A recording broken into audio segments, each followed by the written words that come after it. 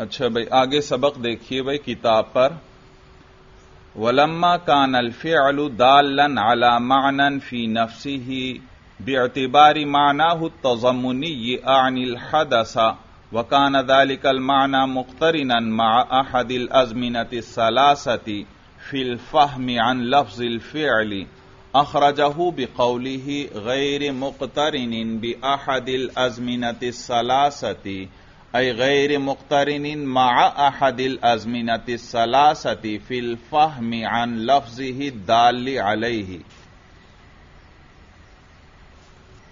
सबक में हमने हासिल महसूल की बहस के आखिरी दो हिस्से पढ़े थे भाई पांचवां हिस्सा जो था इस पूरी बहस का फफी हादल किताबी ये मैंने बतलाया था, एक एतराज़ का जवाब दे रहे हैं।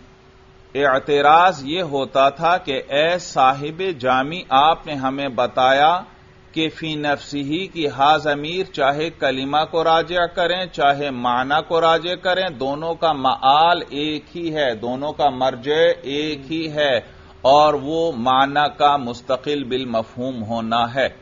यानी फ़ी नफसी ही की हाज अमीर चाहे कलिमा को राजे करें, चाहे माना को राजे करें, दोनों सूरतों में माना बनेगा कि वो माना मुस्तकिल बिल मफहूमियत होना चाहिए, यानी मुस्तकिलन लफ्ज से समझ में आना चाहिए भाई।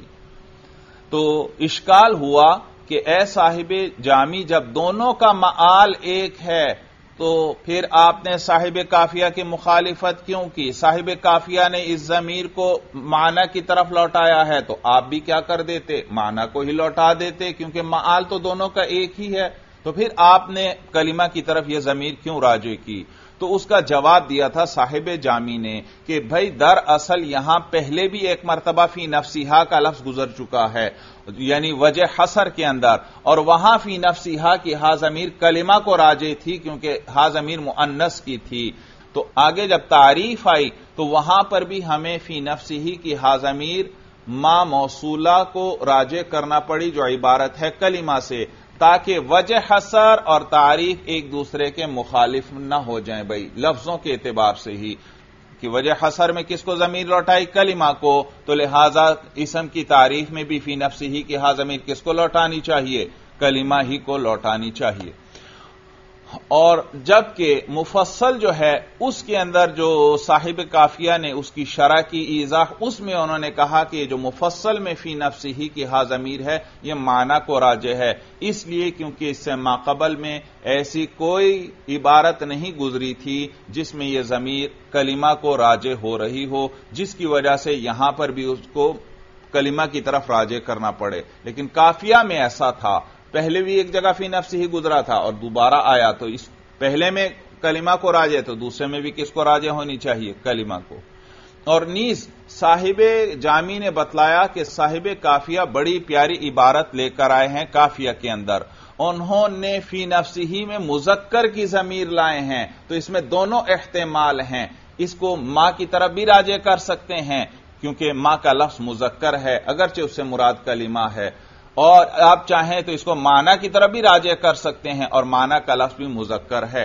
तो इसी बात पर मुतनबह करने के लिए इसम की तारीफ़ में जो फ़ी नफसी ही का लफ्ज लाए हैं, उसके साथ मुजक्कर जमीर ज़िक्र की है ताकि बतला दें कि दोनों एहतमाल इसमें जारी हो सकते हैं। और उसके बाद आखिरी हिस्सा पड़ा था हमने हासिल महसूल की बहस का कि वहाँ एतराज़ होता था कि आपकी ये इसम की तारीफ़ जामिया नहीं। इसलिए क्योंकि इससे असमाय लाजिमतुल इजाफत निकल गए। मैंने बतलाया असमाय लाजिमतुल इजाफत कुछ ऐसे इसम हैं जो हमेशा मुजाफ होकर इस्तेमाल होते हैं। उनके लिए हमेशा मुजाफिले चाहिए। तो उनको क्या कहते हैं? असमाय लाजिमतुल इजाफत, यानी जिनके साथ इजाफत लाजिम है। जब भी उनको इस्तेमाल करना है, उनके साथ मुजाफिले को ज़िक्र करना पड़ेगा। यानी उनके मुताल्लक को ज़िक्र करना पड़ेगा। मुजाफिले भी मुजाफ का मुतालक है ना? तो उसके मुतालक को ज़िक्र करना पड़ेगा। तो मालूम हुआ ये जो असमाय लाजिमतुल इजाफत हैं इनका माना बगैर मुतालक के समझ में ही नहीं आता। उनको भी ज़िक्र करना पड़ेगा फिर इनका माना समझ में आएगा। तो ये किसकी तरह हो गए? हार्फ की तरह हो गए। तो ये फ़ी नफसी ही अपने माना पर दलालत नहीं करते बल्कि फ़ी गैरिहा यानी गैर, यानी मुतल के एतबार से अपने माना पर दलालत करते हैं। तो लिहाजा ये हर्फ की तारीफ़ में दाखिल हो गए। तो इसम की तारीफ़ जाम न रही, कुछ इसम इससे निकल गए। और हर्फ की तारीफ़ मान्य न रही, कि उसके अंदर कुछ इसम, ये वाले जो हैं, लाजिमतुल इजाफत, ये ये इसम क्या हो गए, इसके अंदर दाखिल हो गए। तो उसका जवाब दिया था कि नहीं भाई, ये जो असमाय लाजिमतुल इजाफत है, ये सिर्फ़ इस्तेमाल के एतबार से इनके साथ इजाफत लाजिम है। बाकी इनका माना जो है वो मफहूम कुल्ली है, वो इनसे मुस्तकिलन समझ में आ जाता है। जैसे फौक का माना ऊपर, तहत का माना नीचे, उद्दाम का माना आगे, खल्फ का माना पीछे। तो इनमें से हर एक जो है मफहूम कुल्ली के लिए वजह है, और आप पढ़ चुके हैं कि मफहूम कुल्ली क्या होता है। वो मुस्तकिल बिल मफहूम होता है मुस्तकिलन समझ में आता है। तो ये इनका माना मुस्तकिल है मुस्तकिलन इनसे समझ में आ रहा है। हाँ, आदत अरबों की ये जारी हुई है कि वो हमेशा इसको इस्तेमाल किस तरह करते हैं? हमेशा मुजाफ करके, इसके लिए कोई मुजाफिल साथ ज़िक्र करते हैं। तो ये इस्तेमाल के अंदर ये मुजाफिले के मोहताज हैं। अपना माना बतलाने के अंदर ये मुजाफिले के मोहताज नहीं हैं। और हमेशा अरब इनको मुजाफ करके इस्तेमाल करते हैं और कोई ना कोई मुजाफिले साथ ज़िक्र करते हैं। वजह यह कि इनकी वजह से गरज यही है। मालूम हुआ गरज जो है, वो माना के अलावा भी हो सकती है। तो इन लफ्जों को वजह किया गया माना के लिए और साथ एक और गरज भी थी। क्या? कि इनको हमेशा किस तरह इस्तेमाल करना है? किसी न किसी मुजाफिले के साथ इस्तेमाल करना है। तो इनकी इन खसूसियात को समझने के लिए कि इनको इस मकसद के लिए वजह किया गया है, इसलिए इनके साथ मुजाफिले हमेशा ज़िक्र करते हैं। इनका असले माना समझने के लिए मुजाफिले साथ ज़िक्र नहीं किया जाता। तो ये लिहाजा इसम ही की तारीफ़ में दाखिल हैं। ये अपना माना पर खुद दलालत करते हैं। इनका माना फ़ी नफ्स ही होता है, फ़ी गैर ही नहीं होता। तो ये इसम ही की तारीफ़ में दाखिल है। तो इसम की तारीफ़ जाम हुई। और ये हर्फ की तारीफ़ में दाखिल नहीं तो हर्फ की तारीफ़ मान्य भी है। तो इसम की तारीफ़ जामे होने के एतबार से और हर्फ की तारीफ़ माने होने के एतबार से उसमें कोई खलल और कोई खराबी लाजिम नहीं आई भाई। उसके बाद आगे दूसरी कैद आ रही थी भाई। इसम की तारीफ़ चल रही थी। अलिस्म मादल्ला अलामानन फ़ी नफसी ही गैर मुख्तरिन बियाहदिल अजमिनत सलासती। तो अब उसके बारे में तफसील हमने पढ़ना शुरू की थी कि ये दूसरी कैद क्यों लेकर आए कि इसम का माना तीन जमानों में से किसी जमाने के साथ मिला हुआ न हो। भाई देखो, इसम की तारीफ़ ऐसी होनी चाहिए कि इसमें कोई फेल भी दाखिल ना हो और कोई हर्फ भी दाखिल ना हो। तो जब कहा, मानन फ़ी नफसी ही तो इसके ज़रिए हर्फ निकल गया, क्योंकि उसका माना फ़ी गैर ही होता है, फ़ी नफसी ही नहीं होता। जबकि फेल का माना तो फ़ी नफसी ही ही होता है, वो अभी भी इसके अंदर दाखिल है। जब अभी भी फेल इस तारीफ़ के अंदर दाखिल है तो आगे फिर गैर मुख्तरिन भी अहदिल अजमिनत सलासा की कैद लगाकर उस फेल को इसम की तारीफ़ से निकाल देंगे, क्योंकि फेल के माना के साथ तीन जमानों में से कोई जमाना मिला हुआ होता है। तो जब कह दिया गैर मुख्तरिन तो फेल भी निकल जाएगा भाई। यहाँ फिर मैंने दो तीन चीज़ें आपको बतलाई थी। एक बतलाया था हदस। हदस का लफ्ज इबारत में आ रहा है। मैंने बतलाया, हदस जो है मस्तर को कहते हैं। ये जो मस्तर है, या यूँ कहे माने मस्तरी जो है, ये इसका अपना अलग वजूद नहीं। ये हमेशा गैर की सिफत बनता है। तो हदस वो माना जो गैर के साथ कायम हो, उसका अपना अलग वजूद ना हो। जरब जब भी खारिज में पाई जाएगी, वो किसी न किसी जारिब की सिफत होगी। कोई ना कोई जारिब होगा तो जरब होगी, वरना जरब नहीं हो सकती। शुर्ब के लिए हमेशा कोई ना कोई शारिब चाहिए। कोई ना कोई शारिब होगा तो शुर्ब भी पाया जाएगा, वरना शुर्ब नहीं हो सकता। तो ये मस्तर क्या होते हैं? हमेशा किसी न किसी की सिफत होते हैं। और मैंने ये भी बतलाया था कि खारिज में मस्तर का कोई वजूद नहीं। खारिज में हमें पिटाई करना, देखो ये मस्तर है, ये हमें खारिज में नज़र नहीं आता। शुर्ब पीना, खारिज में हमें पीना नज़र नहीं आता। हाँ, खारिज में हमें इस मस्तर से जो हैत और सूरत हासिल होती है, वो हमें नज़र आती है। तो खारिज में हमें पिटाई करना नहीं नज़र आता, बल्कि इस पिटाई करने से जो सूरत हासिल हुई, यानी पिटाई, वो नज़र आई। और ये हासिल बिल मस्तर है। जो खारिज में हमें दिखाई देती है, ये क्या है? हासिल बिल मस्दर मस्दर से जो सूरत और हैत हासिल हुई है भाई। तो ये इसको हासिल बिल मस्तर कहते हैं। तो खारिज में हमें पिटाई करना नहीं नज़र आता, बल्कि क्या नज़र आती है? पिटाई। खारिज में हमें दौड़ना नहीं नज़र आता, बल्कि खारिज में हमें दौड़ नज़र आती है। खारिज में हमें चलना नहीं नज़र आता, बल्कि खारिज में हमें चाल नज़र आती है। हाँ, लेकिन उर्दू में हासिल बिल मस्तर के लिए अलग लफ्ज है। देखो, पिटाई करना अलग है और पिटाई अलग है। दौड़ना अलग है और दौड़ अलग है।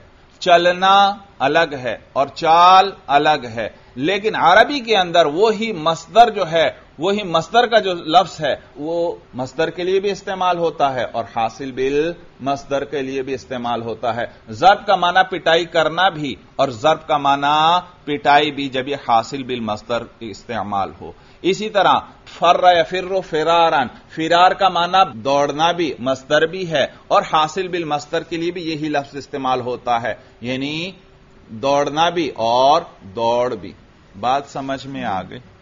उसके बाद मैंने आपको दलालत की किस्में बतलाई थी। एक दलालत मुताबकी है, एक दलालत तजमुनी और एक दलालत इल्तिजामी। दलालत मुताबकी यह है कि लफ्ज अपने पूरे माने मौजू लहू पर दलालत करे। जैसे इंसान का लफ्ज किसके लिए वजह है? हैवान नातिक के लिए। तो इंसान का लफ्ज जब भी बोलेंगे, पूरा हैवान नातिक हमारे जहन में आ जाता है। तो ये देखो, लफ्ज अपने पूरे माने मौजू लहू पर दलालत कर रहा है। इसको कहते हैं दलालत मुताबकी। और पूरा हैवान नातिक हमारे जहन में तभी आएगा जब हैवान भी आ जाए और नातिक भी आ जाए। इन्हीं दो से मुरक्कब है ना?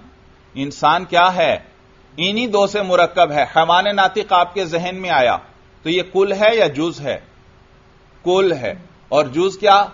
एक जूस क्या? हैवान। दूसरा जूस क्या? नातिक। तो कुल बगैर जूस के पूरा आ सकता है जहन में? नहीं, कुल कभी जहन में आएगा। जब क्या आ जाए? जुज भी आ जाए। तो जब कुल पर दलालत हुई, साथ ही किस पर हो गई? जुज पर भी दलालत होगी, क्योंकि कुल जुज के बगैर नहीं होता। जब भी कुल पाया जाएगा, उसके अंदर ही क्या आ जाएगा? जुज भी आ जाएगा। जैसे देखो मसला मैंने कहा गाड़ी। अब गाड़ी के कितने अज्जा हैं? एक अगला हिस्सा है गाड़ी का, एक उसके अंदर सीटें हैं, एक उसका उसका स्टेयरिंग है गाड़ी का, और गाड़ी के पहिए हैं, गाड़ी की छत है। मैंने जैसे ही कहा, गाड़ी, पूरी गाड़ी आपके जहन में आ गई। पहिए भी आए कि नहीं आए? जी, सीटें भी आ गई कि नहीं आ गई? छत भी आई कि नहीं भाई? देखा एक एक जुज भी आ गया। तो कुल जब जहन में आएगा, साथ ही जुज भी। यानी यूँ कहो, कुल पर जब दलालत होगी तो साथ ही जुज पर भी हो जाएगी अगर जुज है। तो मैंने आपको बतलाया था कि जब भी कोई लफ्ज बोला जाए तो अगर उसके तीनों किस्म के मानी आते हैं, मुताबिकी भी तजमुनी भी और इल्तिजामी भी, यानी उसमें, उसके जुज भी है और उसके कोई माना लाजिम भी है तो तीनों पर इकट्ठी दलालत हो जाती है। हाँ, इरादा हम उनमें से एक का करते हैं। या हमारा इरादा कुल का होगा, या उसके किसी एक जुज का होगा, या किसी मानाए खारिज का हम इरादा करेंगे। और इरादा तभी हो सकता है जब वो दलालत कर रहा हो। अगर दलालत नहीं कर रहा तो इरादा आप कैसे कर सकते हैं? जैसे मैंने मिसाल ज़िक्र की थी कि बकरी बोलकर आप हाथी का इरादा नहीं कर सकते, क्योंकि बकरी का लफ्ज हाथी पर दलालत ही नहीं कर रहा। इरादा सिर्फ़ उसी का कर सकते हैं जिस पर वो दलालत कर रहा हो भाई। तो यहाँ पर इसम की तारीफ़ में आया कि इसम वो कलिमा है जो दलालत करता है ऐसे माना पर, फ़ी नफसी ही, जो साबित हो अपनी जात के एतबार से। इस माना से कौन सा माना मुराद लिया आपने? माना मुताबिकी मुराद है, या माना तजमुनी मुराद है, या मानाए इल्तिजामी मुराद है, या मुतलक माना मुराद है, जिसमें कोई कैद न हो। जैसे मैंने मिसाल से वजाहत की थी कि हैवान, वो नातिक भी हो सकता है। हैवान वो साहिल भी हो सकता है, हैवान वो नाहिक भी हो सकता है। तो हैवान की कितनी ही किस्में हैं, तमाम किस्में, हर एक दूसरी किस्म से अलग है। तो हर एक के लिए अलग फ़सल होगा, हर एक के लिए अलग फ़सल होगा। लेकिन कभी कभार लफ्ज मुतलक बोला जाता है, मुतलक का इरादा किया जाता है। तो कभी हम हैवान नातिक का इरादा करते हैं तो हैवान नातिक बोलते हैं। कभी हम हैवान साहिल का इरादा करते हैं तो हम हैवान साहिल का लफ्ज बोलते हैं। कभी हम हैवान नाहिक का इरादा करते हैं तो हम हैवान नाहिक का लफ्ज बोलते हैं। और कभी हम मुतलक लफ्ज बोलते हैं, यानी कोई खास हैवान मुराद नहीं होता। मसन हैवान बोला, जब हैवान बोला तो चाहे हैवान नातिक हो, वो भी इसके अंदर दाखिल। चाहे हैवान साहिल हो, वो भी इसके अंदर दाखिल। चाहे हैवान नाहिक हो, वो भी इसके अंदर दाखिल है। मसलन, मेरे सामने एक इंसान खड़ा है। मैं कहता हूँ यह हैवान है।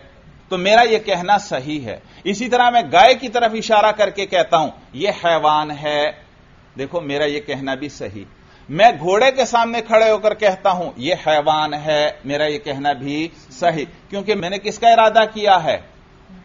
मुतलक हैवान का। और ये सब क्या हैं? हैवान हैं। चाहे जो भी हो जाए, सब क्या हैं? हैवान सब इसके अंदर दाखिल हैं। तो इसी तरह एक माना मुताबिकी होता है, एक तजम्मनी होता है, एक इल्तिजामी होता है और एक मुतलक माना है। मुतलक माना वो तीनों पर सादिक आता है। वो तीनों पर सादिक आता है। तो कितनी किस्में हो गई माना की? चार किस्में। या माना मुताबिकी होगा, या तजम्मनी होगा, या इल्तिजामी होगा, या मुतलक होगा। तो यहाँ कौन सा माना मुराद है? ये जो इसम की तारीफ़ में माना का लफ्ज आया भाई। इसलिए क्योंकि इनमें से कोई एक माना भी यहाँ ठीक नहीं बनता। अगर आप ये कहना चाहते हैं कि माना से मुराद माना मुताबकी है, माना मुताबकी है तो फिर फ़ी नफ्सी ही की कैद से हर्फ भी निकल गया, फेल भी निकल गया, क्योंकि फेल का माना मुताबकी भी फ़ी नफ्स ही नहीं होता, फ़ी गैर ही होता है, क्योंकि वो गैर मुस्तकिल है। मैंने बतलाया था आपको कि फेल, इसका माना मुरक्कब है तीन चीज़ों से। एक, इसके अंदर हदस होता है, यानी मसदर। दूसरा, जमाना। और तीसरा, निस्बत इल फ़ाइल। तो फेल का माना क्या है? मुरक्कब। और इनमें से हदस, ये भी मुस्तकिल है। जमाना, ये भी मुस्तकिल है। लेकिन निस्बत इल फ़ाइल ये तो निस्बत का नाम है। और निस्बत क्या होती है? गैर मुस्तकिल, नस्बत दो चीज़ों के दरमियान होती है। इसका अपना अलग वजूद नहीं। दो चीज़ें हैं तो उनमें नस्बत भी है। दो चीज़ें नहीं तो उनके दरमियान नस्बत भी नहीं है। तो लिहाजा, फेल का माना इन तीन चीज़ों से मुरक्कब है। और इन तीन में से एक गैर मुस्तकिल है। तो यह सारा मजमुआ भी क्या हुआ? गैर मुस्तकिल, क्योंकि नतीजा किसके ताबे होता है? अरजल अखस के जो अदना हो, खसीस हो, घटिया हो, उसके ताबे होता है। तो ये ये निस्बत इलफाइल ये गैर मुस्तकिल है। ये बाकी दो अज्जा के साथ मिली तो इसने सारे मजमुए को ही क्या बना दिया? गैर मुस्तकिल बना दिया। तो फेल का माना मुताबिक ही गैर मुस्तकिल है। अब आइए फिर उस बहस पर। क्या बहस चल रही थी? कि इसम की तारीफ़ में मानन फ़ी नफसी ही आया। इससे कौन सा माना मुराद है? अगर इससे माना मुताबिकी मुराद लेते हैं। इसम वो कलिमा है जो दलालत करता है, ऐसे माना मुताबिकी पर जो अपनी जात के एतबार से हो। ऐसा माना मुताबिकी जो अपनी, यानी ऐसा माना मुताबिकी जो मुस्तकिल हो। फिर तो फेल निकल गया, क्योंकि फेल का माना मुताबिकी तो मुस्तकिल नहीं है। तो जब फेल इसी कैद से निकल गया तो आगे गैर मुख्तरीन कहने की क्या ज़रूरत है भाई? उस कैद की कोई हाजत ही नहीं। इश्काल समझ में आया। और अगर अगर माना से मुराद, माने तजमुनी मुराद लेते हो, कि इसम ऐसा कलिमा है जो दलालत करता है, ऐसे माने तजमुनी पर जो मुस्तकिल होता है तो फिर तो बहुत से इसम भी निकल जाएँगे। वो इसम जिनका जुज ही नहीं होता। जुज होगा तो माने तजमुनी भी हो सकेगा। जुज ही ना हो तो माने तजमुनी क्या? माने तजमुनी कहते ही किसको हैं? जिसमें एक चीज़ के जुज का इरादा किया जाए भाई। तो फिर तो बहुत से इसम भी इसम की तारीफ़ से निकल जाएँगे। बात भी समझ में आ रही है कि नहीं? इसम ऐसा कलिमा है जो दलालत करता है, ऐसे माने तजमुनी पर, जो मुस्तकिल हो, फ़ी नफसी ही हो। तो जो इसम, वो इसम जो बसीत हैं। यानी जिनके माना का जुज नहीं है, वो इससे निकल गए, क्योंकि माना से आपने माना तजमुनी का इरादा कर लिया। और या इस माना से मुराद होगा माना इल्तजामी, लेकिन माना इल्तजामी मुराद नहीं ले सकते, क्योंकि तारीफात के अंदर माना इल्तजामी मतरूक है भाई। उसका कोई एतबार नहीं है, क्योंकि जहन उसकी तरफ़ फ़ौरन मुतवजह नहीं होता, क्योंकि वो एक अमर खारिज पर, एक लाजिम पर दलालत कर रहा है, जो उस चीज़ की हकीकत और माहियत से खारिज होता है। हाँ, उसके साथ लाजिम होता है। तो माना इल्तिजामी भी यहाँ मुराद नहीं ले सकते, क्योंकि यह तारीफ़ चल रही है इसम की। और मुतलक माना भी मुराद नहीं ले सकते, इसलिए क्योंकि मुतलक का वजूद खारिज में अलग होता ही नहीं है। मुतलक का वजूद हमेशा किसके जिमन में होता है?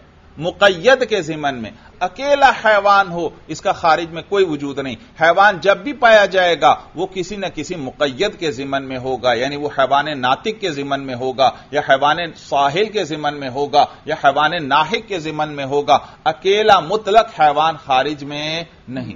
तो मुतलक का खारिज में वजूद नहीं होता भाई। वो किसके जिमन में पाया जाता है? मुकैद के जिमन में पाया जाता है। तो माना मुतलक भी मुराद नहीं, क्योंकि इसके मुकैद क्या क्या हैं? इसम की तारीख में माना का लफ्ज आया, इससे मुतलक माना भी मुराद नहीं ले सकते। क्यों नहीं ले सकते? क्योंकि मुतलक का वजूद हमेशा किसके जिमन में होता है? मुकैद तो मुतलक माना, वो या तो माना मुताबिकी के जिमन में पाया जाएगा, या माना तजमुनी के जिमन में होगा, या माना इल्तिजाम। बात समझ आ रही है। तो मुतलक का अलग वजूद नहीं, वो हमेशा मुकैद के जिमन में होता है। और माना मुकैद कितनी किस्में हैं? माना मुकैद की तो तीन ही किस्में हैं। या माना मुताबकी है, या माना जमुनी है, या माना इल्तिजामी है। तो मुतलक का वजूद जब भी होगा, या वो माना मुताबकी के अंदर होगा। भाई देखो ना, हैवान नातिक, ये मुतलक है मुकैद है। मुकैद है, और इसी के अंदर हैवान का वजूद भी है या नहीं? जैद हैवान नातिक है, लेकिन वो हैवान भी है। घोड़ा क्या है? हैवान साहिल है तो उसके जिमन में हैवान भी है। इसी तरह गदा हैवान नाहिक है, लेकिन उसके जिमन में हैवान भी है। गाय हैवान जुखुआर है, लेकिन उसके जिमन में हैवान भी है। तो हैवान मुतलक जो होता है, किसके जिमन में होता है? मुकैद के जिमन में होता है। अलहदा मुतलक का कोई वजूद नहीं होता। तो जब मुतलक माना का आप इरादा करें तो मुतलक का वजूद भी किसमें होगा? या वो मान मुताबिकी के अंदर वो मुतलक माना पाया जाएगा, या वो मान तजमुनी के अंदर होगा, या माना इल्तजाम। माना इल्तजामी का तो इरादा मतरूक है, उसको तो छोड़ दें। तो फिर दो ही माना रह गए। कौन से? या माना मुताबिकी, या माना तो वो उसी के उन्हीं के जिमन में पाया जाएगा। और उन दोनों पर तो इश्काल होता था कि माने मुताबिकी भी मुराद नहीं ले सकते, वरना तो फेल इसी से निकल जाएगा। और माने तजमुनी भी मुराद नहीं ले सकते, क्योंकि बहुत से फिर असमा तारीफ़ से निकल जाएँगे। तवज्जो है। तो मुतलक माना भी मुराद नहीं ले सकते, क्योंकि मुतलक हमेशा मुकैद के जिमन में होता है। और जो एतराज़ मुकैद पर होता था, वही फिर वो जो मुतलक जो मुकैद के जिमन में पाया जाएगा, उस पर भी हो जाएगा। मुतलक माना अकेला हो सकता है? किसके जिमन में होगा? या माना मुताबकी में होगा। जब माना मुताबकी है तो मुतलक माना भी है। या किसमें होगा? माना तजमुनी में होगा। जब माना तजमुनी है तो मुतलक माना भी है। और माना मुताबिकी भी हम नहीं मुराद ले सकते, क्योंकि फेल का माना मुताबिकी मुस्तकिल नहीं होता। और माना तजमुनी भी मुराद नहीं ले सकते यहाँ पर, क्योंकि माना तजमुनी की सूरत में बहुत से इसम जो है, वो भी इस तारीफ़ से खारिज हो जाते हैं। तो मालूम हुआ, ये जो माना का लफ्ज आया इसम की तारीफ़ में न इसे मुतलक माना मुराद ले सकते हैं न माना मुताबकी मुराद ले सकते हैं और न माना तजमुनी मुराद ले सकते हैं। और माना इल्तिजामी तो वैसे ही मतरूक है यहाँ पर। इश्काल समझ में? तो उसका जवाब मैंने दिया था कि यहाँ मुतलक माना मुराद है। क्या मुराद है? मुतलक माना। सुनो तवज्जो से सुनो। अलिसमान फ़ी नफसी ही इसम ऐसा कलीमा है जो दलालत करता है ऐसे माना पर ऐसे माना माना के साथ मैंने कोई मुताबिकी तजमुनी की कैद लगाई? नहीं। जो भी हो, बस ऐसा माना हो, फ़ी नफसी ही हो, यानी मुस्तकिल हो। चाहे मुताबिकी हो चाहे तजमुनी हो, जो भी हो। मुतलक माना मुराद है ना, जो भी ले आओ, वो इसके अंदर दाखिल हो जाएगा। चाहे माने मुताबिकी ले आओ, चाहे मानाए तजमुनी ले आओ। अब फेल भी इसके अंदर दाखिल हो गया। माना से कौन सा माना मुराद दिया? मुतलक। कोई भी माना हो, लेकिन होना क्या चाहिए? मुस्तकिल होना चाहिए। तो इसम इसम अपने माने मुताबिकी के एतबार से मुस्तकिल होता है। और फेल अपने माने तजमुनी यानी हदस के एतबार से मुस्तकिल होता है। तो अब माना से कौन सा माना मुराद दिया? मुतलक माना। ऐसा मुतलक माना जो फ़ी नफसी ही हो। क्या माना? यानी माना होना चाहिए और मुस्तकिल होना चाहिए। बस हमारी गरज यह है, फिर जो भी माना हो, लेकिन हो क्या? मुस्तकिल। तो अगर एक लफ्ज का माना मुताबिक ही मुस्तकिल है, वो भी इसमें आ जाएगा। एक लफ्ज का अगर माना तजमुनी मुस्तकिल है, वो भी इसके अंदर आ जाएगा। तो इसम भी इसके अंदर आ गया और फेल भी इसके अंदर आ गया। इसम क्यों दाखिल हुआ? क्योंकि इसम का माना मुताबिक ही मुस्तकिल होता है। फेल क्यों दाखिल हुआ? क्योंकि फेल का माना तजमुनी मुस्तकिल होता है। बात समझ में आ गई? तो कोई ऐसा माना हो जो मुस्तकिल हो? अलिस्मा दल्ला अला मानन। फिर अब लफ्जों पर गौर करना।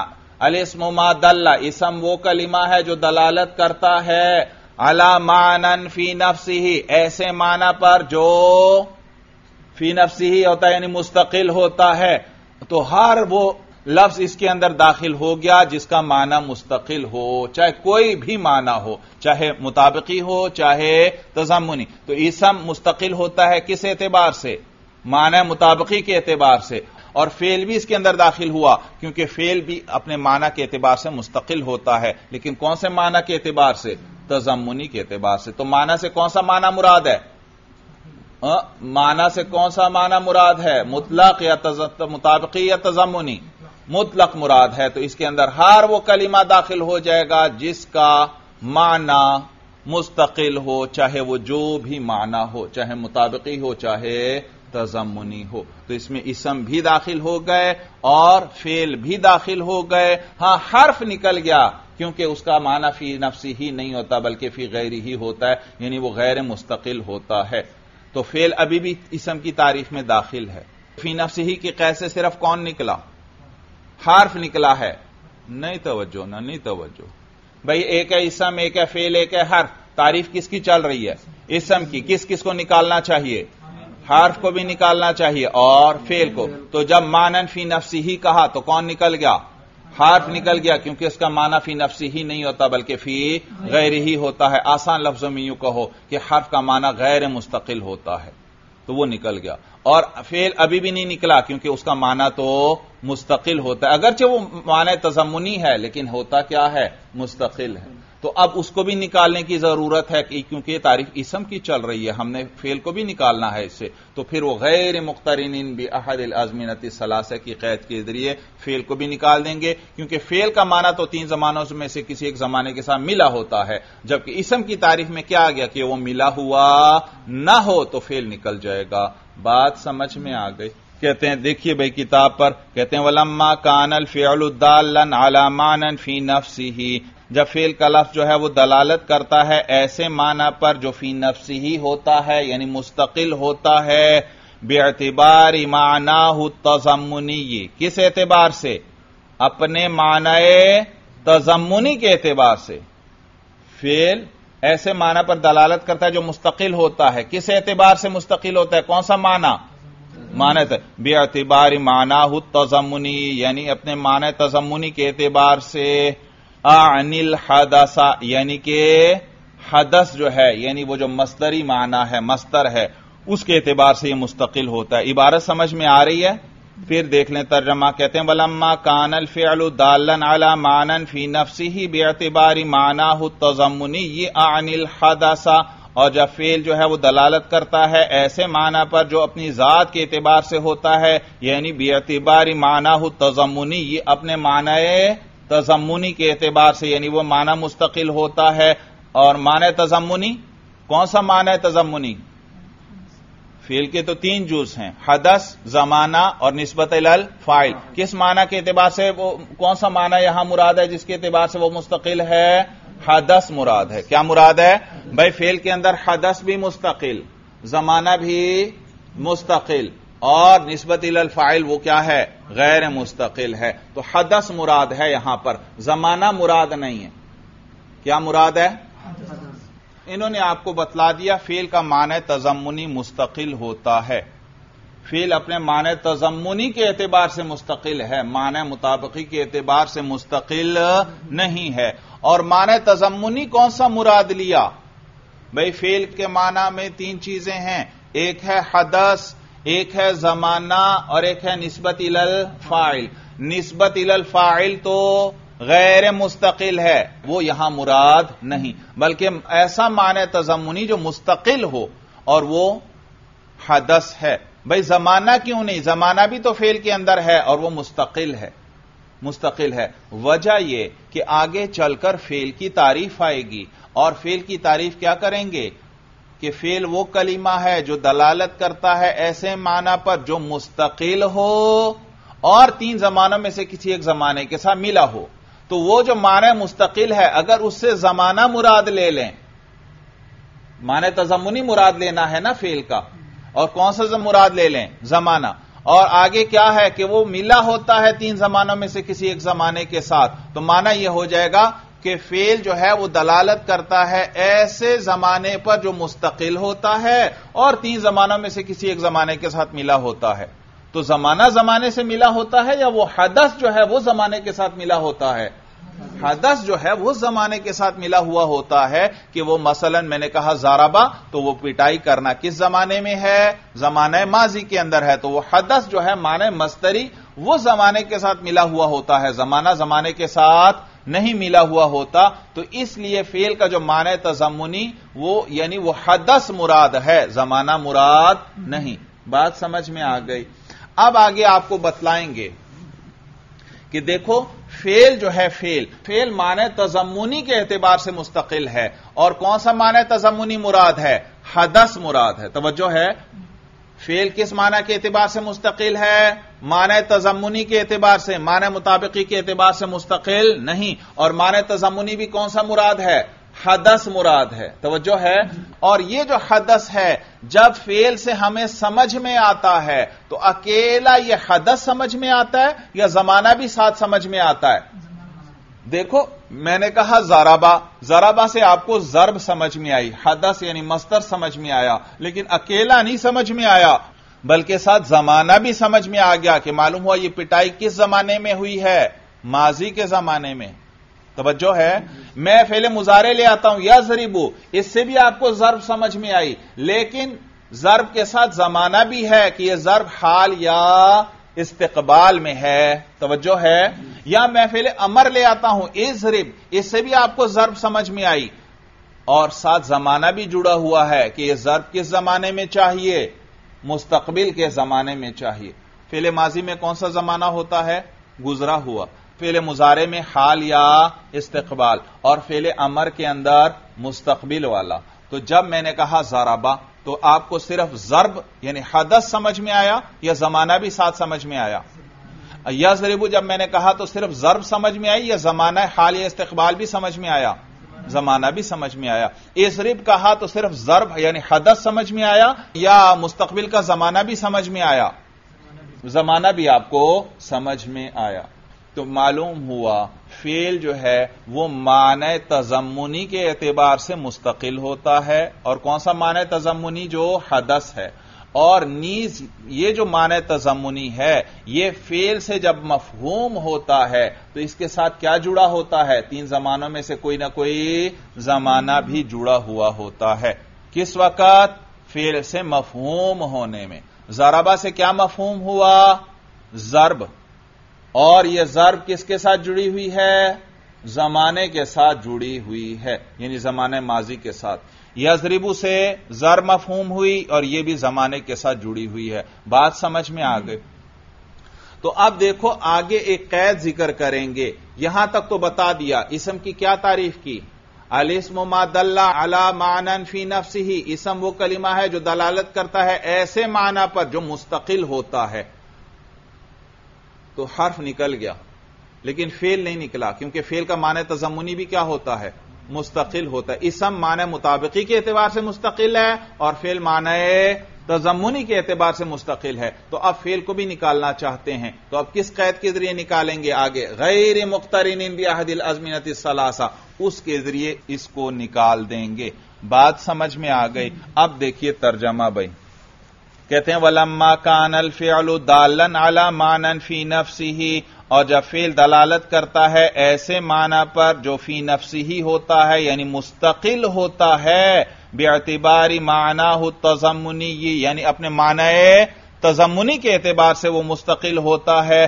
अनिल हदसा यानी के हदस भाई। फिर सुनो, जब फेल दलालत करता है, जो माने तजमुनी के एतबार से मुस्तकिल होता है, वकान जालिकल माना, और फेल का वो जो माने तजमुनी यानी हदस है, मुकतरिनन, वो मिला हुआ होता है माहदिल अजमीनत सलासती। तीन जमानों में से किसी एक जमाने के साथ जुड़ा हुआ होता है, मिला हुआ होता है। कब मिला हुआ होता है? फेल से मफहूम होने में।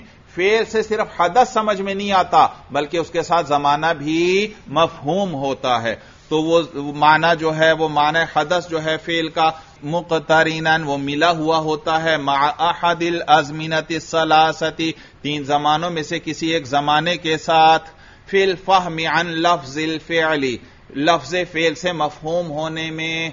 लफ्ज फेल से क्या मफहूम हुआ? हदस। और यह हदस किसके साथ जुड़ा हुआ है? जमाने के साथ। जरबा से सिर्फ़ जरब नहीं समझ में आई, बल्कि यह जरब किस जमाने के साथ जुड़ी हुई है? माजी के जमाने के साथ की पिटाई माजी के जमाने में हुई है। हाल या इस्तकबाल में नहीं हुई।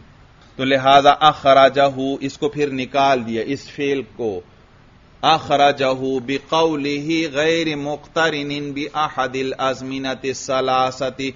तो इसको फिर निकाल दिया मातिन ने बिकौल ही किस कौल के ज़रिए? फेल को निकाल दिया इस कैद के ज़रिए, गैर मुकतरिन भी आहदिल आजमीनत सलासती, कि वो माना मिला हुआ न हो तीन जमानों में से किसी एक जमाने के साथ।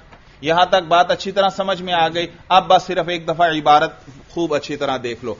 कहते हैं, वलम्मा कान फ़ियल दालन अलामान फ़ी नफ्सी बेतबारी माना तजमुनी अनिल हदसा।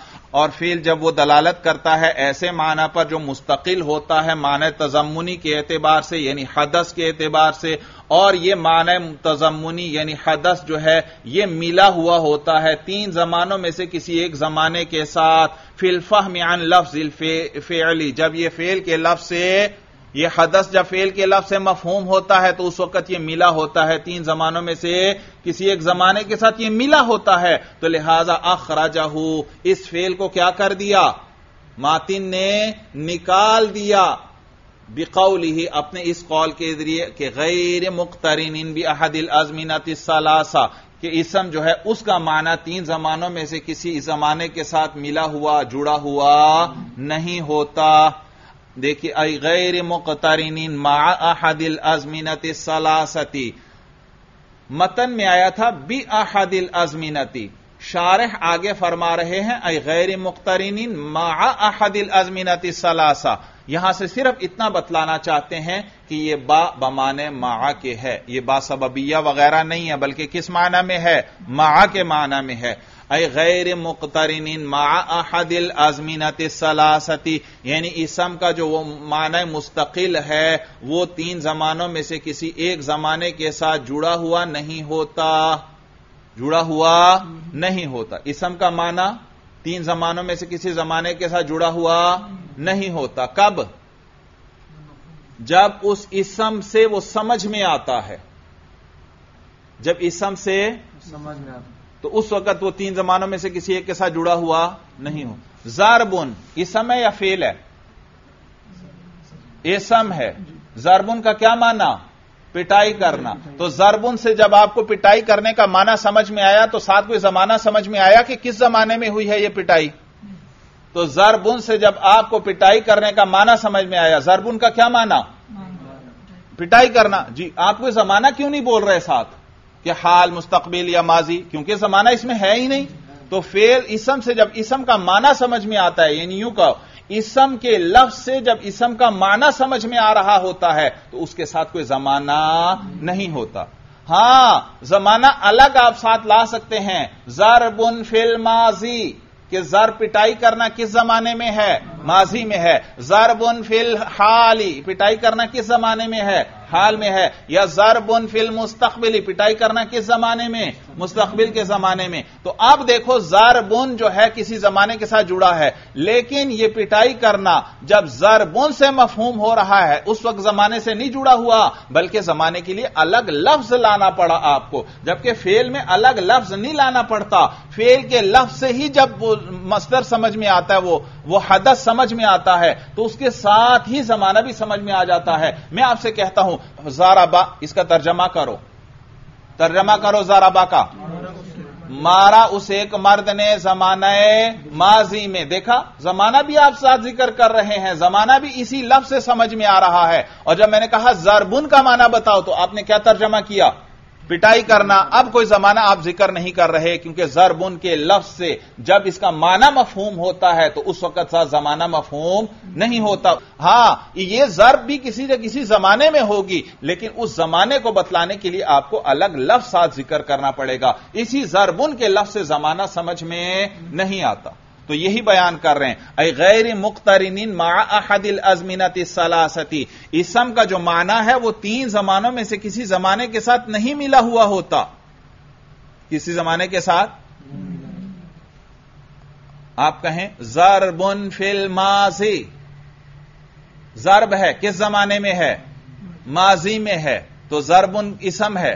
तो माना मिल गया या नहीं इसका माजी के साथ? तो उसका आगे जवाब दे रहे हैं। फिल फहमी अन लफ्ज ही दाल अलही, कि वो तीन जमानों में से किसी के साथ नहीं जुड़ा होता। वो जो लफ्ज उस पर दलालत कर रहा है, यानी इसम का, उस इसम के लफ्ज से जो माना मफहूम हो रहा है। तो है? वो लफ्ज जो उस माना पर दलालत कर रहा है, इसम की बात चल रही है ना तो इसम का वो लफ्ज जो क्या कर रहा है, अपने माना पर दलालत कर रहा है।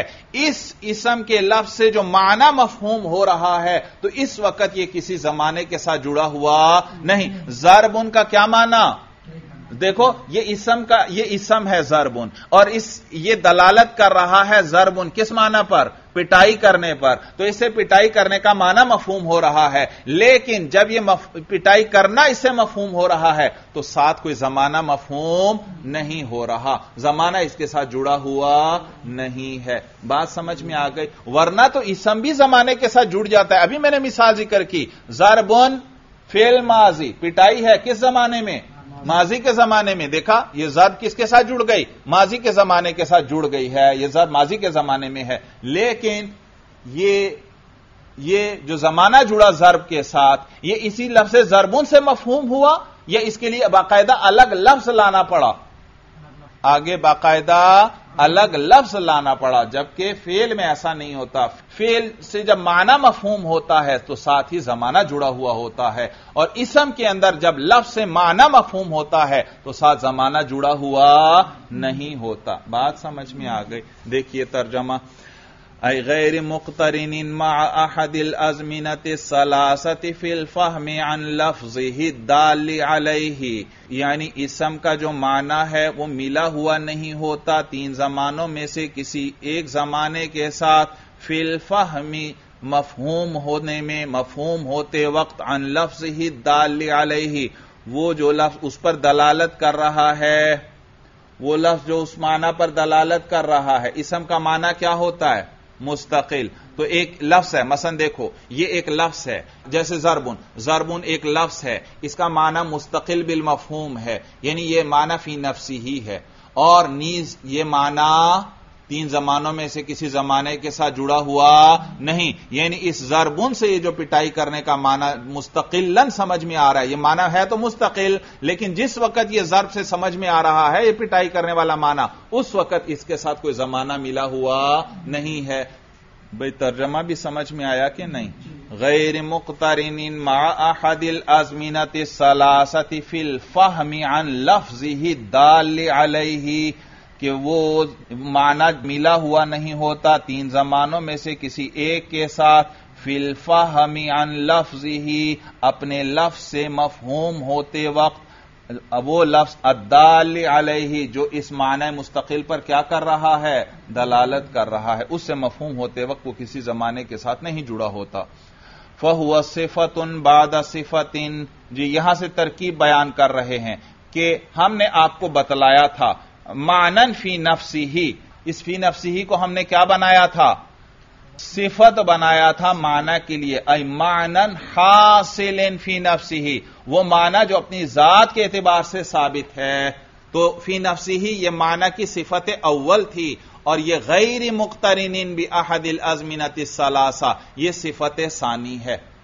ये सिफत माना मौसूफ फ़ी नफ्स ही सिफत अव्वल और गैर मुख्तरिन भी अहदिल अजमिनत सलासा। ये क्या है सिफत सानी? और सिफत पर वही एराब आता है जो मौसूफ पर होता है। और माना तो मजरूर था, क्योंकि उस पर अला जार्रा दाखिल था। तो फ़ी नफसी ही इसके लिए हमने हासिलिन मजरूर निकाला। इसी तरह यहाँ भी गैरी मुख्तरिन ये गैरी को मजरूर पढ़ेंगे, क्योंकि ये सिफत है माना की और वो भी मजरूर है। तो गोया माना की दो सिफतें आ गईं, एक फ़ी नफसी ही और एक गैरी मुख्तरिन भी अहदिल अजमिनत सलासा। तो कहते हैं फहुआ सिफत उन बाद सिफतिन। तो ये एक सिफत के बाद दूसरी सिफत है, लिल माना। अच्छा तो ये एक सिफत के बाद दूसरी सिफत है भाई। लिल माना किसके लिए? माना के लिए। फबिस सिफतिल उला खरजल हर्फ अन हद दिल तो पहली सिफत जो है, कौन सी पहली सिफत? फ़ी नफसी ही, उसके ज़रिए, खरजल हर्फ अन हद दिल इसमी, हर्फ निकल गया इसम की तारीफ़ से, व बिसानियतिल फ़ेलू, और दूसरी सिफत के ज़रिए फेल निकल गया इसम की तारीफ़ से। बात समझ में आ गई, अच्छी तरह। अभी फेल के बारे में गुजरा भाई, मैंने आपको बतलाया कि फेल जो है, उसका मफहूम मुरक्कब है तीन चीज़ों से। एक हदस एक जमाना और एक नस्बत इलल फ़ाइल भाई और मैंने आपको बतलाया था कि मेरे वालिद मोहतरम, शेखुल हदीस व तफसीर, हज़रत मौलाना मोहम्मद मूसा रूहानी बाजी रहमल्ला तहमत वासिया ये जो अभी हासिल महसूल की बहस गुजरी इसकी उन्होंने एक नहायत मुफसल शरा लिखी है भाई। यह हासिल महसूल की बहस कोई लगभग डेढ़ दो सफ़े की है। लेकिन इसकी शरा जो वालिद साहब ने लिखी, वो तकरीबन 500 सफहात पर मुश्तमिल है भाई अरबी ज़ुबान में। और उसके मुकदमे में वालिद साहब रहमल्ला लिखते हैं कि मेरी ये किताब नह की मुश्किल तरीन किताबों में से है। हर एक इसको नहीं समझ सकेगा। कोई बड़े उलमा हुए, बड़े उलूम के माहिर हुए, वो ही इस शरा को समझ सकेंगे। और वाकई वो बड़ी मुश्किल और पेचीदा किताब है भाई। उस किताब को इंसान पढ़ता है, हैरान रह जाता है भाई। ऐसी ऐसी तहकीकात पेश करते हैं, जो उससे पहले आपने कहीं नहीं पढ़ी होंगी। वहाँ पर फेल की, फेल का भी ज़िक्र फरमाते हैं। और फेल के बारे में वो छह मजाहिब ज़िक्र फरमाते हैं। एक मज़हब जमहूर का है, जो मैंने ज़िक्र कर दिया कि फेल का माना मुरक्कब होता है कितनी चीज़ों से? हदस, जमाना और नस्बत इलफाइल तो ये जमहूर का मज़हब है। इसके अलावा चार और मजाहिब ज़िक्र फरमाते हैं मुख्तलिफ़ ओलमा के। और फिर छठा मज़हब अपना ज़िक्र फरमाते हैं। छठा मज़हब अपना वाले साहब रहमुल्ला ज़िक्र फरमाते हैं और फरमाते हैं कि फेल जो है, इन्होंने क्या फरमाया? जमहूर क्या कहते हैं कि फेल मान मुताबिकी के एतबार से मुस्तकिल नहीं है। कि फरमाते हैं, मेरे नज़दीक फेल मान मुताबिकी के एतबार से भी मुस्तकिल है भाई। फेल अपने मान मुताबकी के एतबार से भी मुस्तकिल है। और नीज आगे लिखते हैं कि मेरे नज़दीक फेल का माना चार चीज़ों से मुरक्कब है। एक हदस, एक जमाना, एक फ़ाइल मुजमल और एक नस्बत इल फ़ाइल। कितनी चीज़ें हैं? चार। हदस, जमाना, फ़ाइल मुजमल और नस्बत इल फ़ाइल। तो फरमाते कि मेरे नज़दीक फेल इन चार चीज़ों से मुरक्कब है और फेल का माना भी इसम के माना की तरह मुस्तकिल है। और इसम का माना मुस्तकिल था किस एतबार से? माना मुताबकी के एतबार से। और जमहूर के नज़दीक फेल का माना मुस्तकिल है, माना तजमुनी के एतबार से। लेकिन फरमाते मेरे नज़दीक माना मुताबकी के एतबार से फेल का माना मुस्तकिल है। कहते हैं, बल्कि फेल के माना का इस्तकलाल इसम से भी बढ़कर है। फेल के माना का, फेल के माना का मुस्तकिल होना यह इसम से बढ़कर है भाई, बढ़कर है। और फिर इस पर तवील बहस करते हैं और बड़े दलाइल ज़िक्र करते हैं। कोई तकरीबन 50 के लगभग सफे तक वो इस पर तवील बहस करते हैं, दलाइल ज़िक्र करते हैं कि मेरे नज़दीक फेल का माना जो है इन चार चीज़ों से मुरक्कब है। तो बड़े कवि दलाइल उसमें वो ज़िक्र फरमाते हैं भाई। तो वालिद साहब रहमल्ला को अल्लाह ताला ने अजीब ओलूम नसीब फरमाए थे। आप उनकी जो भी किताब उठाकर देख लें तो वो उस इलम और फन में इस तरह तकल्लुम करते हैं जैसे कोई उस इलम और फन का मुजतहिद हो गई। ऐसे उलमा तारीख इस्लाम में बहुत कम गुजरे हैं। उलमा इस्लाम में आप देखें तो कोई बहुत बड़ा मुहदस नज़र आएगा, कोई बहुत बड़ा मुफसर नज़र आएगा, कोई बहुत बड़ा सरफी है, कोई बहुत बड़ा नहवी है, कोई बहुत बड़ा मंतिकी है, कोई बहुत बड़ा फलसफी है, कोई बहुत बड़ा उसूली है। लेकिन ऐसे उलमा जो तमाम फनून के अंदर मुजतहिद की और इमाम की हैसियत रखते हों, ऐसे उलमा आपको तारीख इस्लाम में बहुत कम मिलेंगे। जो तमाम उलूम में मुश्तहिद की हैसियत रखते हों, ऐसे उलमा तारीख इस्लाम में बहुत कम गुजरे हैं। और वालिद साहब रहमहुल्लाह को अल्लाह ताला ने ऐसे ही उलूम नसीब फरमाए थे कि वो हर फन के अंदर मुजतहिद की हैसियत रखते थे। देखो, अब ये फेल की तारीफ़ जमहूर क्या फरमाते हैं? फेल का मफहूम मुरक्कब है तीन चीज़ों से। वाली साहब फरमा रहे हैं कि मेरे नज़दीक फेल का मफहूम मुरक्कब है, चार चीज़ों से भाई। और फिर उस पर बड़ी तवील बहस करते हैं। ये नहीं कि एक मसला ज़िक्र कर दिया, बल्कि आगे उसके बाकायदा दलाइल ज़िक्र करते हैं और तवील बहस करते हैं। तो कोई तकरीबन पचास के लगभग सफे तक वो इसी पर बहस करते चले जाते हैं, दलाइल देते चले जाते हैं। तो वाली साहब रहमल्ला की, हर फन और हर इलम में उन्होंने तसानीफ की हैं और किसी भी फन की उनकी कोई भी किताब उठाकर इंसान देख ले तो यूँ मालूम होता है कि इस शख्स की सारी ज़िंदगी इसी एक फन में गुजरी है। इसीलिए इतनी गहरी बातें कर रहा है भाई। लेकिन जब दूसरे फन को उठाएँ तो उसमें भी वही हालत होती है। तीसरे फन को उठाएँ तो उसमें भी यही हालत होती है। चौथे फन को उठाएँ तो उसमें भी यही हालत होती है। तो ऐसे उलमा तारीख इस्लाम में बहुत कम गुजरे हैं जो हर फन के अंदर मुश्तहिद की हैसियत रखते हों भाई।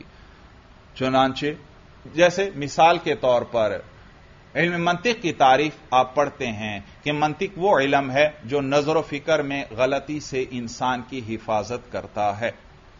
वाली साहब रहमल्ला फरमाते थे कि मेरे नज़दीक मंतिक की यह तारीफ़ गलत महज है भाई, बिल्कुल गलत तारीफ़ है। इल्म मंतिक वो नज़र फ़िक्र में गलती से आपकी हिफाजत नहीं करता। अगर मंतिक नज़र फ़िक्र में गलती से हिफाजत करती तो मनातिका के आपस में इख्तलाफात नहीं होने चाहिए थे भाई। जब गलती से हिफाजत हो गई तो हर एक ने ठीक बात कही तो आपस में इख्तलाफ नहीं होना चाहिए। लेकिन हम देखते हैं कि मनातिका के इख्तलाफात सबसे ज़्यादा हैं भाई। सबसे ज़्यादा हैं। बल्कि छोटे मंतिकियों के इख्तलाफात को छोड़ें। अगर आप ये कहें कि मंतिकी, बाज मंतिकी क्या है? छोटे मंतिकी हैं। मंतिक ने नज़र फ़िक्र में इनकी गलती से पूरी हिफाजत नहीं की, इसलिए इनसे गलतियाँ हुई। तो कम अज कम जो मंतिक के अइमा हैं, जो मंतिक के बड़े ओलमा हैं, कम अज कम उनकी तो गलती से हिफाजत करनी चाहिए थी मंतिक को। लिहाजा उनमें तो इख्तलाफ नहीं होना चाहिए। लेकिन हम देखते हैं कि मंतिक के अइमा के आपस में बहुत ज़्यादा इख्तलाफात हैं भाई। तो फरमाते थे, मंतिक की यह तारीफ़ जो किताबों में मजकूर है यह गलत महज है। फिर फरमाते, मेरे नज़दीक मंतिक की दुरुस्त तारीफ़ यह है, अलमंतिक हुआ इल्म यो आरफू बिही तुरुकुल अबहासी नकजम व इब्रामन। मंतिक वो इलम है जिसके ज़रिए आपको बहस करने के तरीके आते हैं नकजम व इब्रामन आई नफियम व इसबातन। नफी और इसबात के तौर पर कि यानी दूसरे की बात की नफी कैसे करनी है और अपनी बात का इस बात कैसे करना है। मंतिक के ज़रिए इंसान को बहस करने के तरीके आते हैं कि किस तरह दूसरे से बहस करनी है। चुनाचे जो शख्स इल्म मंतिक जानता होगा, उससे बहस करना बड़ा मुश्किल है। आप उसके सामने जो भी बात करें, वो सुगरा कुबरा मिलाएगा और आपकी बात को रद्द कर देगा। चाहे वो हक पर हो या हक पर ना हो। चाहे वो हक पर हो या ना हो, वो सुगरा कुबरा मिलाएगा, दलील बनाएगा और आपकी बात को रद्द कर देगा। तो देखा मंतिक के ज़रिए अपनी बात को साबित करना इंसान सीखता है कि किस तरह अपनी बात साबित करनी है। चाहे हक हो, चाहे ना हक हो, लेकिन साबित कैसे करना है वो सीख लेता है। और दूसरे की बात को रद्द कैसे करना है? चाहे हक हो, चाहे ना हक हो, उसको रद्द कैसे करना है? तो अलमंतिकु हुआ इल्मुन योरफ बिही तुरुकुल अबहासी, जिसके ज़रिए बहसों के तरीके जाने जाते हैं। नफियों व इस बात नफी और इस बात के तौर पर कि दूसरे की बात की नफी कैसे करनी है और अपनी बात का इस बात कैसे करना है। या फरमाते यूँ कहो, अलमंतिक हुआ इल्म यूरफ बिही तुरुकुल इस्तेदलाली नफियों व इस बातन मंतिक वह इलम है जिसके ज़रिए इंसान इस्तेदलाल का तरीका, दलील बनाने का तरीका सीखता है। नफियों व इस बात नफी और इस बात के तौर पर कि दूसरे की नफी कैसे करनी है दलील बनाकर और अपना इस बात कैसे करना है इस्तेदलाल करते हुए। तो वो फरमाते हैं कि मेरे नज़दीक फेल का मफहूम मुरक्कब है चार चीज़ों से। और फिर वालिद साहब का कमाल ये कि उनकी किताबें देखें तो उनकी अरबी इतनी फसीह बलीग है कि जिसे लफ्जों में बयान नहीं किया जा सकता। वाली साहब के जो तलामिजा बाहर अरब ममालिक में पढ़ने के लिए या काम के सिलसिले में जिनको जाना पड़ता, वो वाली साहब को आकर कभी कभी ज़िक्र किया करते थे कि उस्तादी हमने फला अरब मुल्क में गए हुए थे। एक बड़े आलिम से मुलाकात हुई और उनके सामने हमने, उनको आपकी किताब हमारे पास थी, अरबी ज़ुबान वाली तो हमने उनको तोहफे के तौर पर पेश की। तो वो किताब चंद सफे पढ़कर ही वो हैरान रह गए और वो आपके बारे में पूछते रहे कि इतनी फसीह बलीग अरबी? इतनी फसीह बलीग अरबी तो आज का अरबी अदीब भी लिखने पर कादिर नहीं है। यह तो वो अंदाज है जो आज से एक हज़ार साल कबल अम लुगत अरब का अंदाज था। बे इंतहा फसीह बलीग भाई, अरब के मुहावरात वगैरह इतनी कसरत से उसमें इस्तेमाल करते हैं। और फिर एक ही लफ्ज, दो या तीन जगह ज़िक्र हो तो हर जगह उसके लिए अलग अलग लफ्ज लेकर आते हैं। चुनाचे बहुत से, ये एक आध वाकया नहीं, बहुत से ओलमा ने ये वाकयात ज़िक्र किए। आपको भी जब कभी ज़िंदगी में अगर कभी मौका मिला, हज़रत की कोई किताब आपके पास हुई, कोई अरब आलिम आए, आप उसको किताब तोहफे के तौर पर पेश करें। अगर वो हज़रत से वाकिफ नहीं होगा तो एक आध सफ़ा पढ़ते ही चौंक उठेगा कि इतनी फसीह और इतनी प्यारी अरबी। समझ में आए वो अहले ज़ुबान है, वो अपनी ज़ुबान को जानते हैं। जब कमाल की फसाहत और बलागत हो फ़ौरन चंद सत्रों में ही वो महसूस कर लेते हैं भाई, और उसका लुत्फ उठाते हैं। चुनाचे बड़े भाई मौलाना जुबैर साहब जब ये उमुल कुरा यूनिवर्सिटी मक्का मुकर्रमा में पढ़ रहे थे, वो फरमाते हैं कि हमारे एक उस्ताद थे, वो मस्जिदुल हराम में इमाम भी थे भाई। तो और इसा भी थे, और एक उस्ताद जो थे वो मस्जिदुल हराम के इमाम थे। तो उनके साथ कहते हैं, तब ईद ताल्लुक और लगाव था कि ये इमाम हरम भी हैं भाई। तो एक मरतबा कहते हैं, मैं अपने वालिद साहब की कुछ किताबें जो साथ ले गया था, वो मैंने इरादा किया कि इमाम हरम को तोहफे के तौर पर देता हूँ। चुनाचे जब वो यूनिवर्सिटी में असबाक से फारग हो गए और वो अब वापसी के लिए गाड़ी की तरफ़ जा रहे थे भाई तो रास्ते में एक जगह बरामदे में मैं खड़ा इनका इंतज़ार कर रहा था कि अभी यहाँ से गुजरेंगे सबक पढ़ाकर तो मैं उनको ये किताबें पेश करूँगा। चुनाचे जब वो मेरे पास से गुजरने लगे, मैं आगे हुआ, सलाम किया और फिर मैंने वो किताबें हदिये के तौर पर पेश की कि ये कुछ किताबें मैं बतौर हदिया के आपके लिए लेकर आया हूँ। इरादा यह था कि किताबें दूँगा, सलाम करूँगा और बस मुलाकात खत्म हो जाएगी। तो वो उन्होंने बड़े खुश होकर किताबें ली और फिर वैसे ही जैसे एक इंसान की साहिब मुताला की आदत होती है तो वैसे ही खड़े खड़े वहीं वैसे किताबें एक खोल कर जैसे एक आध, दो चार सत्रों पे वैसे ही नज़र डाल लो तो किताब को थोड़ा सा खोला और कहते हैं दो चार सत्रें वैसे ही नज़र डाली तो एकदम ठठक कर बिल्कुल खड़े हो गए और फरमाने लगे कि ये तुम्हारे वालिद साहब ने किताब लिखी है और ये किताब इस जमाने के अंदर लिखी गई है। क्या इस किताब को एक आजमी आलिम ने लिखा है भाई? इस पर भी हैरान हो रहे थे कि इस जमाने में कोई ऐसी अरबी लिख सकता है। और फिर कोई अजमी आदमी, गैर अरब ऐसी अरबी लिख सकता है। तो कहते हैं, वो दो, चार, छह जो सत्रह या एक आध सफ़ा जो उन्होंने पढ़ा था, उस सफ़े से इतना मुतासर हुए, आप अंदाज़ा तो लगाइए। कहते हैं, मेरे साथ वो तकरीबन पौना घंटा खड़े रहे और वालिद साहब के अहवाल पूछते रहे। तो देखो पौना घंटा। इमाम हरम खड़े हो जाएँ, भाई, कहाँ इतने मसरूफ लोग किसी को वक्त दे सकते हैं? लेकिन इतना ज़्यादा उन पर असर हुआ कि वो पौना घंटा खड़े होकर हज़रत के अहवाल पूछते रहे, भाई। तो ये इतनी फसीह बलीग अरबी उनकी कि इंसान देखकर हैरान रह जाता है, भाई। और वालिद साहब की यह फसीह बलीग अरबी इसलिए थी कि एक तो अल्लाह ने उनको इंतहाई कमाल का जहन नसीब फरमाया था। दूसरा उन्होंने तहसील इलम में बहुत ज़्यादा मेहनत की थी भाई। हद से ज़्यादा मेहनत की थी। वो शब रोज पढ़ने में मसरूफ रहते थे जब तालब इलम थे। कहीं इधर उधर घूमने नहीं जाते थे, बल्कि जंगल में एक जगह मुख्त की हुई थी। जब मदरसे के असबाक सबक खत्म हो जाते तो जंगल में चले जाते और वहाँ सारा दिन अपने सबक याद किया करते थे भाई। हाफिजा कवि था तो खूब याद कर लेते। हत्या कि अगले दिन उस्ताद को पूरा सबक, किताब की इबारत समेत जुबानी सुनाते थे भाई। बल्कि इबारत, किताब का मतन छोड़ें, उसके हाशिए भी जुबानी याद कर लेते थे भाई। उनका हाफिजा कवि था, ये सारी इबारतें उनके जहन में महफूज होती चली गईं। ये जितनी इब्तदाई किताबें हैं, ये काफिया हिदायतुल्नाह उसूल शाशी वगैरह, ये सारी किताबें उनको जुबानी याद थी भाई। और इसी तरह तलबा से फरमाते थे कि भाई, ये ये दस मकामे मुझे कुल अल्लाह की तरह याद हैं भाई, दस मकामे। बल्कि एक फरमाते, कुल में भी शायद थोड़ा सा शक हो। मुझे ये अल्हम्दुलिल्लाह की तरह याद हैं। अल्हम्दुलिल्लाह तो हर नमाज़ में पढ़ना पड़ती है। तो वो तो हर एक को खूब अजबर होती है। तो कहते हैं, मुझे अल्हम्दुलिल्लाह की तरह दस मकामें याद हैं। इसी तरह बहुत से कसीदे अरब शुरा के, ये सारे उनको अजबर थे। बेहतरीन, ज़बरदस्त शायर थे भाई अरबी ज़ुबान के। उनके कसीदे इंसान पढ़ता है, हैरान रह जाता है। इतने फसीह बलीग कसीदे भाई। तो बतलाना मैं ये चाहता हूँ कि तलबा को अरबी किताब की इबारतें जुबानी याद करनी चाहिए। हमारे तलबा अरबी ज़ुबान में ज़्यादा माहिर क्यों नहीं होते? क्योंकि सर्फ भी सीख लेते हैं नह भी सीख लेते हैं, लेकिन अरबी इबारतें याद नहीं होती, उनके जहन में नहीं होती, इसलिए उनके लिए अरबी लिखना मुश्किल होता है।